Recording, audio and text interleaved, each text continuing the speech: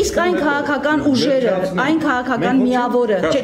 չէ, չէ, տելեապրիլյան պատերազմը, որը կանգնեցրել է Ադրբեջանի լայնածավալ հարձակումը,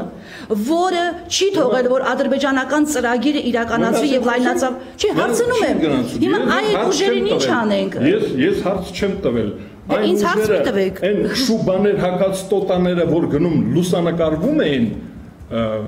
ուրիշ մարդիկ դիրքերում։ Իսկ այսօրվա իսկ այսօրվա շուբաներ հակասներին չեք տեսնում։ Այսօրվա մեկ մեկ պարանոցներին չեք տեսնում։ Այսօրվա ժամանակների բոլոր ժամանակների շուբայով տոտալիզացներ, որ գնում են իրենց տներում, նրանք խժռում են մեր բանակի Այդ շուբաներով տոտաները ավելի անվտանգ էին, քան այսօրվա ԼԳՏ համայնքի ներկայացուցիչները։ Այդ շուբանովները ավելի անվտանգ էին, քան այսօր մի քանի սերի վտանգավոր են մոնումենտի դղյակներում են վտանգավոր։ Այն նրանք այնտեղից են, նրանք պաշտպանության դիրքերից պաշտպանական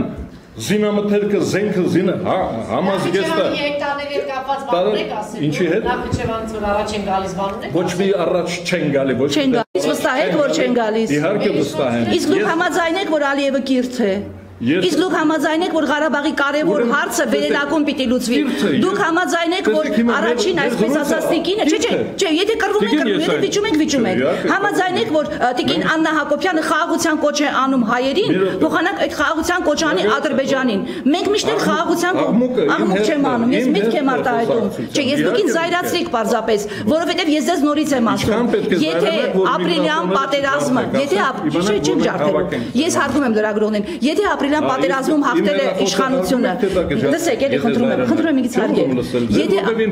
Չէ, դուք անդր 800 հեկտար եք ասում, մոռանալով որ դա լայնածավալ պատերազմ է, եւ այդ լայնածավալ պատերազմը Հայաստանի իշխանությունը հայոց բանակը կանգնեցրել է։ Եվ թույլ եք դրա հետ։ Ոնց կապ Այդ բանակը ոնց ով է ստեղծել։ Նիկոլն է ստեղծել։ Չէ, Նիկոլը չի։ Բա ով է ստեղծել Աննան է բանակը։ Կներեք էլի։ Այսինքն այդ Ստամբուլյան կոնվենցիան է ստեղծել, որը այսօր ուզում են խցկել եւ վավերացնել, որ տղաներ չծնվեն, որ դու գնաք տղայի հետ ամուսնանալ, ես չգիտեմ ինչ անել։ Այո, դա հայոց պետականությունն է ստեղծել։ Եվ ստեղծել են բոլոր նախկին իշխանությունները միասին։ Հայոց բանակը ստեղծել է Վազգեն Սարգսյանը եւ Ռոբերտ Քոչարյանը։ Լավ էլի, դες վերացական մի ասեք։ Ոնց որ Նիկոլն ասում, հայ ժողովուրդը հեղափոխություն արել։ Իշխանությունն է ստեղծել։